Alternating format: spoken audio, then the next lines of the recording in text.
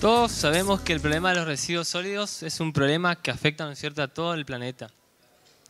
En Misiones Argentina, los residuos sólidos son arrojados al relleno sanitario. Cientos de toneladas anuales que lo único que hace es terminar enterradas. Todos sabemos el problema que generan los residuos.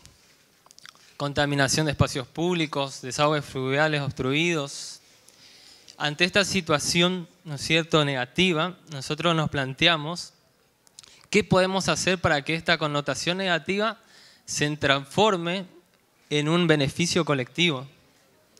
Ante esa reflexión, el video,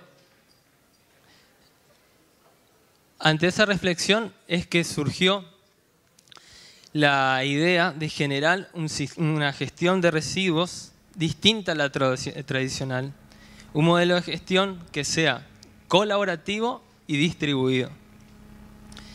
El, modelo de gestión Colmena, ¿no es cierto? ¿Por qué es justamente eh, colaborativo? Porque todos sabemos que al acudir a la voluntad, a la, a la voluntad de la ciudadanía, cuando ve que un proyecto, ¿no es cierto?, es benéfico para toda la sociedad, y si le das las herramientas y los recursos para que se sume, lo hace. Distribuido, porque tanto la recolección como el procesamiento de los residuos sólidos se lleva en distintos puntos. En definitiva, el modelo Colmena lo que hace es lo siguiente. Una vez que vos terminás de tomarte una bebida, ya sea envasada en un tetrabric, en una botella plástica, una lata de aluminio, lo, lo lo registras en esta plataforma web. Al registrarte te convertís como un sujeto generador. Pero también hay otros que ya están registrados en la plataforma web como recolectores.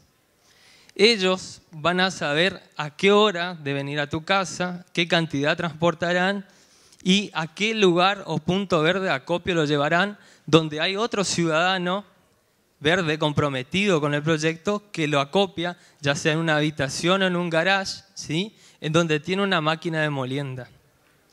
Todos ellos se encuentran comunicados a través también de una aplicación web que permite saber justamente en qué instancias ya están los residuos de los distintos ejes.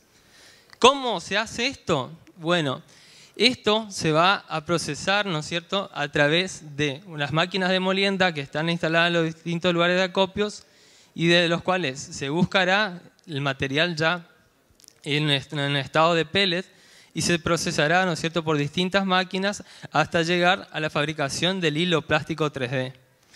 En caso de los tetrabricks, a través de una hidropuller, se fabrican las chapas de aluminio. ¿Sí? En este sistema también lo que se busca es retribuir a la voluntad colaborativa del ciudadano. ¿Con qué? Con una criptomoneda. Una moneda basada en un algoritmo cooperativo, ¿sí? no competitivo, sino que es colaborativo, a prueba de colaboratividad.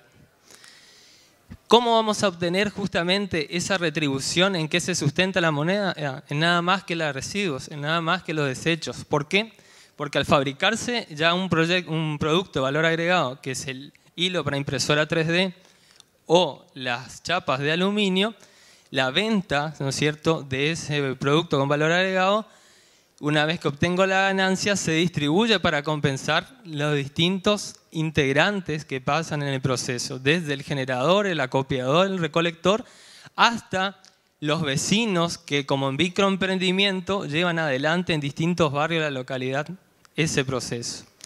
Ellos se van a ver, ¿no es cierto?, nucleados en asociaciones vecinales, cooperativas de trabajo asociaciones. De esta manera todos nos beneficiamos, ¿sí? Y es un modelo innovador por el hecho que busca la redistribución de la ganancia al capital. No es un empresario único que tiene una planta de procesamiento y reciclaje que se queda la ganancia, sino a través de una retribución a la voluntad colaborativa se compensa a toda la ciudadanía. Y esto permite que el ciudadano sea vivencia el proceso de reciclaje, que sea realmente partícipe y también obtenga las ganancias de todo el proceso. ¿Se entiende? Entonces, por eso el proyecto Colmena es innovador y justamente quiero agradecer la oportunidad de compartir este proyecto y ante cualquier inquietud estoy a las órdenes. Muchas gracias.